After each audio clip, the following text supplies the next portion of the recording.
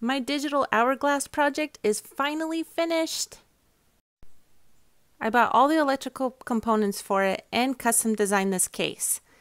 It has an on and off switch and a USB port to recharge the internal lithium battery. The assembly didn't require any glue. I designed the walls and the top and bottom caps to have countersunk screws that holds everything together. Let's flip the switch and turn it on. Gosh, I think this is just so cool. The grains of sand will slowly fill the bottom matrix, leaving the top matrix empty. I'm going to speed it up here a bit just so you can see more of the cycle. At any point, you can flip this over and the grains of sand will fall the opposite direction. This is the first time I've incorporated electronics with my 3D printing, and I'm pretty happy with how this turned out.